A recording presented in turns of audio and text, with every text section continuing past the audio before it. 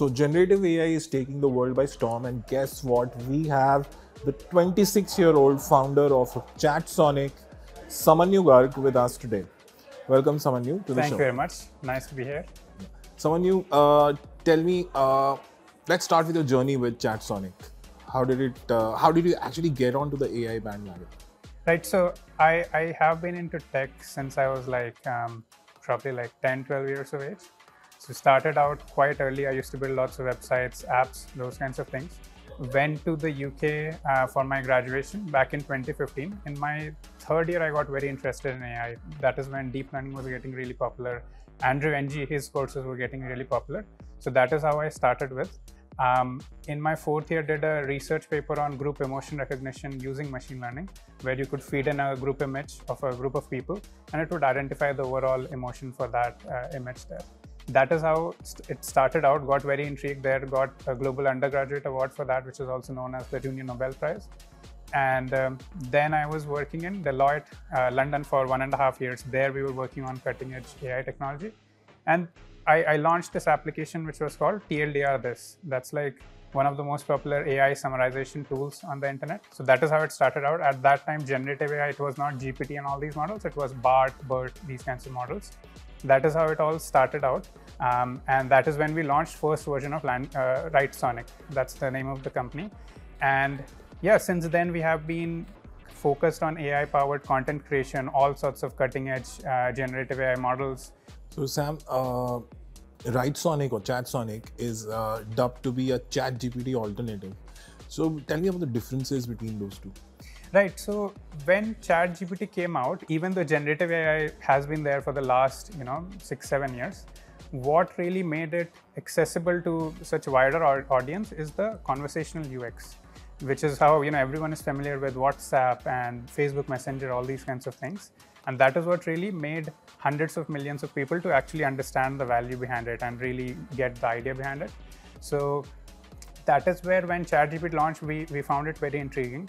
So that is where we wanted to build something like you know an improved version of ChatGPT, little bit more focused towards content creation.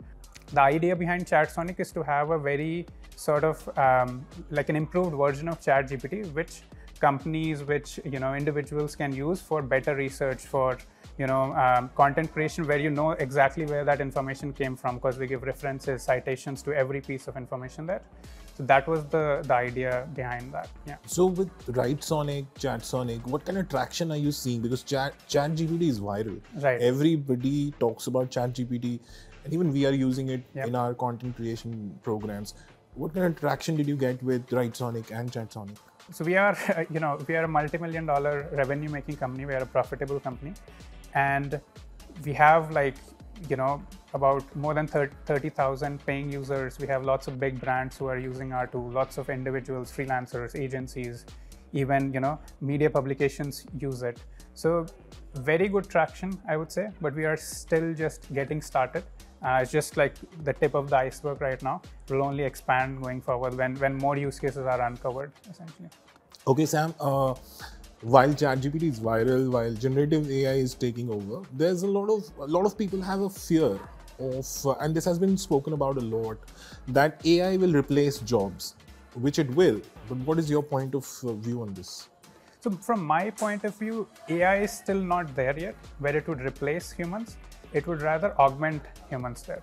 So I think how it was probably 10, 15 years back when internet came out, everyone used to think that okay internet you know e-commerce will will replace my job or, or will take away my business. But that is not the case. Now if you've seen during covid time especially um, those kind of brick and mortar stores when they started going online they were actually making more money they were making more profit there and it also it also diversifies their uh, kind of sources of income and you know all that. So from my understanding it would basically people who make the best use of ai they would be ahead as compared to other people but it would basically create new jobs. It will uh, kind of um, get like motivate people to learn and pick up AI as a tool to further increase their productivity. So it would be more like a productivity tool, I would say, rather than replacing jobs per se.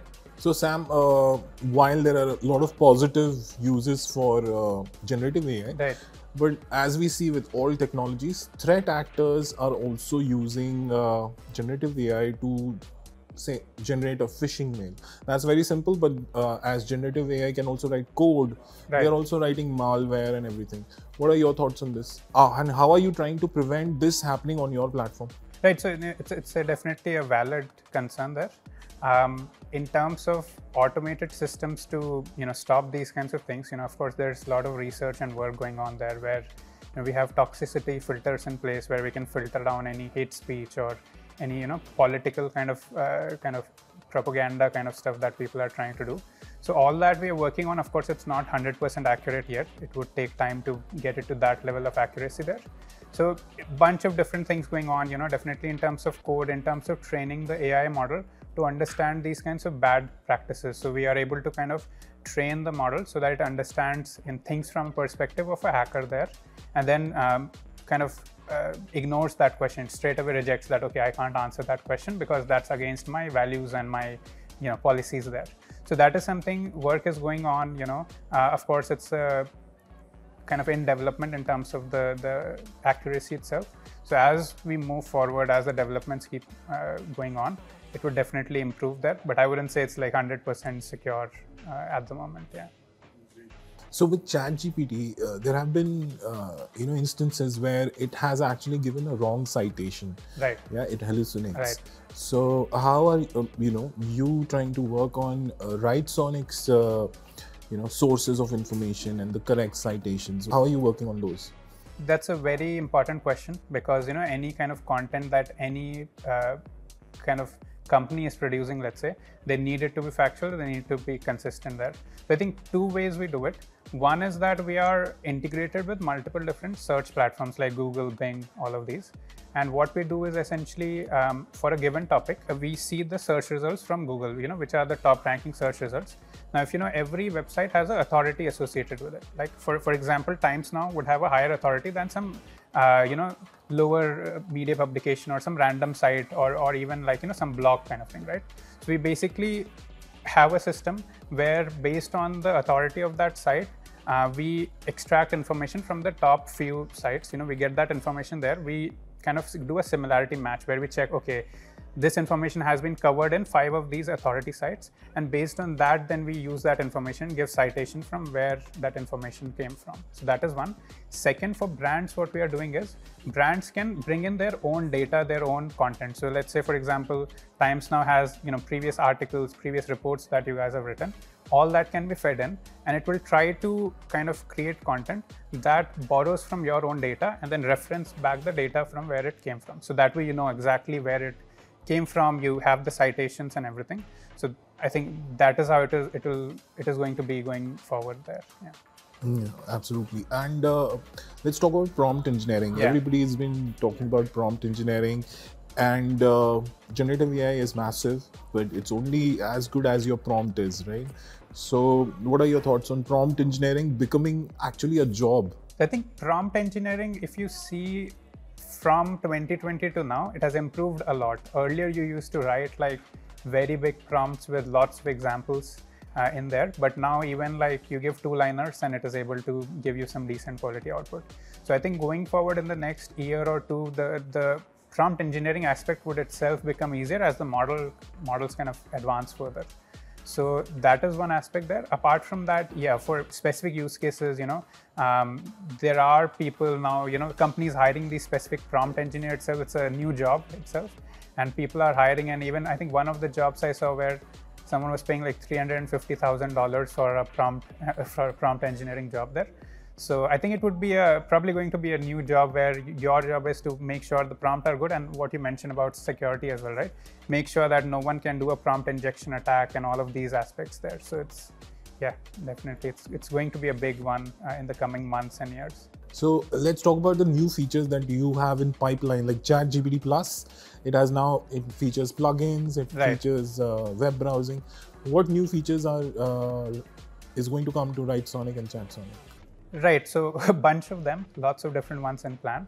One of them you mentioned plugins. That something like that we are, we are building our own ChatSonic app store, where any of the plugins that are on ChatGPT would automatically be supported in our app store. So think of it like how Android and iOS kind of are. Um, apart from that, you know, we are also building our own plugins there. Second, very important bit for brands is where they can bring in their own content, their own previous content, their data points, and use that to produce new content there. So any kind of let's say questions you're asking on um, you know the the interface, it basically instead of hallucinating information, it reads from your own content, from your own data points, and produces content based on that. That's the second thing. Third thing is ever since we launched ChatSonic, different brands like you know all over the world have reached out to us where they want their own custom ChatSonic kind of thing, which is trained on their own data. That is the next big thing where we have this uh, platform called BotSonic, where companies can come and feed their own data points, their own you know links, knowledge base, all of these things, and then they get their own no-code chatbot out of that that they can plug in their own website and they can use both internally for their employees or they can also put it externally. Like you know how, how you have chatbots right now they're dumb chatbots they're rule-based chatbots. But with these chat gpt like chatbots it's very personalized to the end user and kind of gives very very interesting responses there. So i think those are the couple of things that we are working on going forward there. Since you are from india and you started this any collaborations or any work that you're doing india specific with Writesonic and ChatSonic? So india definitely it's a, it's a big market of course. For us you know we are like most of our team is based out of india so we are building for the world from india right? And in terms of having generative AI in India, I think in India currently there's no large language models as such which India has developed. So I think that is going to be the next big thing where you know even we are working on our own large language models. You know others are also working there, and there's a huge amount of computational talent in India that is not being utilized properly there. So that is our aim to build these large language models which are trained on Indian languages, first of all, and then also for some of the use cases like where we train on Indian kind of context specific data and is able to create content in the context of the Indian consumer or the Indian, you know, uh, persona there. So I think that is what we are working on. Uh, definitely uh, takes time to build large language models, you know, training time and all that. So, but but yeah, I think a lot of companies we speak with in India, we are collaborating also with with a couple of them where we are helping a lot in the e-commerce industry where we are producing product descriptions for them or we are helping you know agencies automate their content you know simplify their content creation media publications we are helping to produce more amounts of um, reports and articles on a daily basis so a lot of these different um, factors there i would say great so now uh, what's your message to people who are actually scared of uh, generative ai you know and scared of uh, generative AI taking up their jobs yeah. and also not understanding what it is. I think my point would everyone has used ChatGPT or a similar platform to some extent. So it's more of a productivity booster rather than like a you know something that will take away the job. And uh, just like with internet, the the earlier you pick up something and you kind of start using it and bring it into your daily workflows, the better it would be, you know, it would help you out as well. So any kind of job, whether you're writing emails or whether you are, you know, doing research, any kind of job, if you use AI, your 60, 70% of the time gets saved there. And you can, if let's say if you are a freelancer, you can pick up more projects, more clients. If you are working in a company, you know. Let me ask you one thing. Do you think AI, using AI for work is cheating? I wouldn't say that. I wouldn't say that. There's so many companies right now who are uh, buying ChatSonic or ChatGPT subscriptions for their employees, right? Now, for me, I'll talk from my perspective. So I'm, you know, so I'm founder, you know, for my company. Um, let's say when we are building software, right?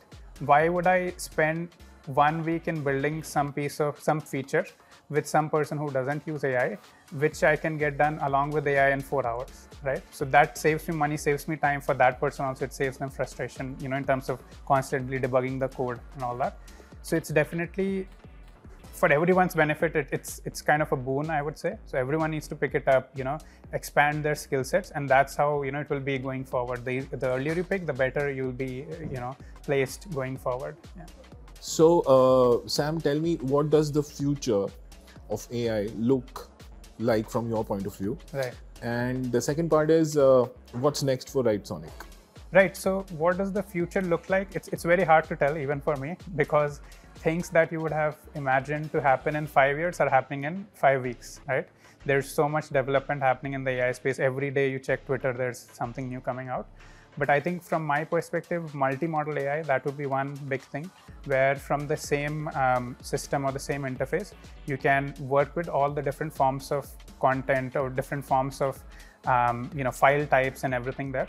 So that is one thing. Second thing apart from that would also be you know everyone would sort of have their own personalized uh, chatbot or personalized AI for them. So think of it like a personal GPT which as an individual it's trained on your previous emails your whatsapp messages all of those things and it acts as your own digital clone right for companies it would be their digital clone for their brand where it understands like you know there's a gpt for every company which is trained on their own writing style their own data points and everything. And it is able to kind of help out the employees of that company in any aspect related to that company right so i think those two would be the next big things multimodal ai and sort of the digital clones for companies as well as for individuals there. Yeah. Something like Iron Man. Something like Iron Man, maybe not that advanced in terms of robots and stuff, but yeah, the assistant definitely. Yeah, the assistant. Um, yeah, that's what I would say. Great, great. It was great chatting with you, Sam. Thank you very much. All the best for your Thanks for having me here.